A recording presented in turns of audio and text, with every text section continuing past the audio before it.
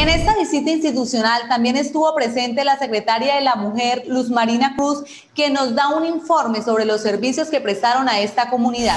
La municipal en cabeza del doctor Eugenio Rangel Marrique y con articulación de la Secretaría de la Mujer y que hay género, con anticipación al Día Internacional de la Mujer, eh, venimos a celebrar este día hoy y también ofrecer los servicios psicosocial a toda la comunidad de Palo Gordo.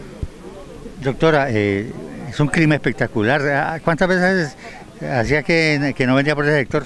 Eh, hace tres meses esto, visité a Palo Gordo en todas las actividades de la Secretaría de la Mujer, donde nosotros con las presidentas les estamos ofreciendo buenos proyectos a la comunidad.